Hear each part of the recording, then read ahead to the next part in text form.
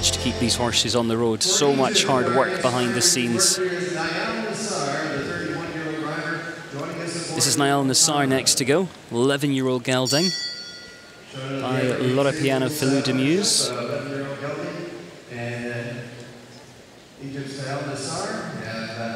And this is a really unique gelding actually because when you look back at this horse's pedigree, the dam side comprises of almost completely ponies.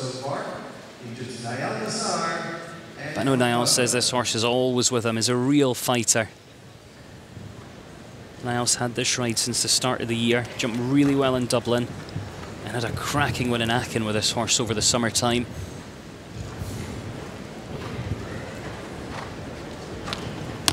Oh, he is in it for the win tonight, isn't he? He is not hanging about, and you can see how uber careful this horse is, really flicking up over the fences. This is the one he's got to watch, though. Oh, good job. Right, just hold it together down here. You can hear him saying, whoa. Two efforts left, and he is on a fly around towards this final couple of fences. 56.70 time to beat. If he jumps this, he's into the lead. He's done it. Straight to the top. He will be over the moon with that little horse. 53-54.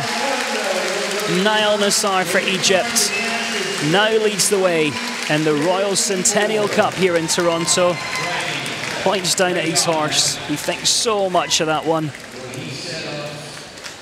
That he meant business tonight. And believe you me, that news will filter backstage so quickly. You know, he sliced over three seconds off Beat Mändli's time. And indoors in the world of international show jumping, that's like a lifetime. That was a cracking round. Ladies and gentlemen, please welcome your winner. It is Nayel Nassar of Egypt.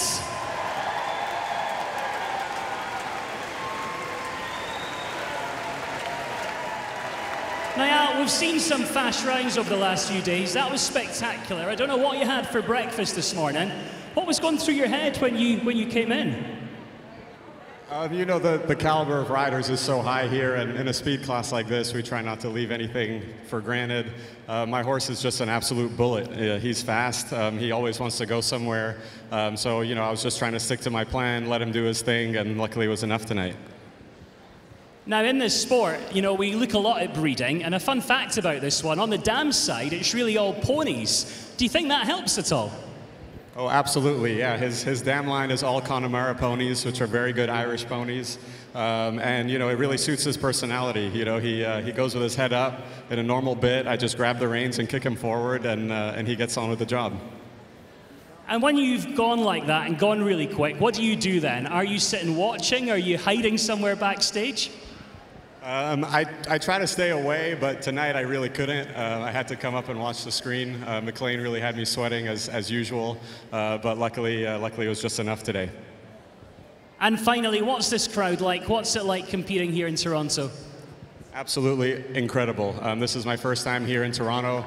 Uh, you guys are, are second to none. Uh, really, it's, it's been a long time since we've been at a show with this much atmosphere, so um, thank you to everyone who's come out, and thanks to the organizers for putting on this unbelievable event. Ladies and gentlemen, Nayel Nassar, what a winner!